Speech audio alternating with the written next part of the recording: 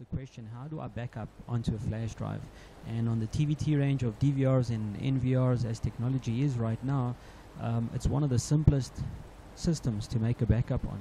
So the following is how it's done. You go to the bottom left hand side of your screen, you click on the start menu, then you go to playback. Once you're in playback, you can see the timeline appearing on your right hand side. Uh, you can push the plus button to further expand your timeline and I would like to make a backup between 719 and 720 so I will highlight exactly that amount of time and I can drag to the right to select all four cameras or just a single camera. So in this case I'm going to select only camera number one. Once I've done that I go down to the bottom and I push the backup button. And you can see that the duration is one minute and it's going to take up the total space of 22 megabytes and it's camera number one. I then push back up and it's showing me what else is on the memory stick which is fine.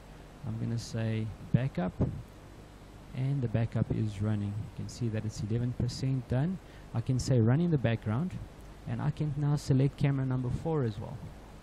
Go there highlight camera number four and select backup as well it's going to be 57 seconds total of 52 megabytes because there's motion. I'll then back up and select backup. And once again I can select running the background or not. It's totally up to me but I'm going to say running the background. While the backup is being done I can actually go and have a look here and I can see that the one of the backups is 100% done already. The other one is 36% complete.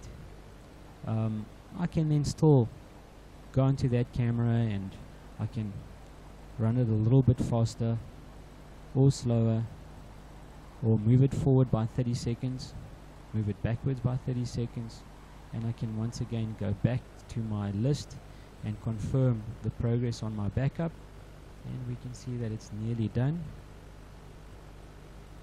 Once it's complete I can remove my USB flash drive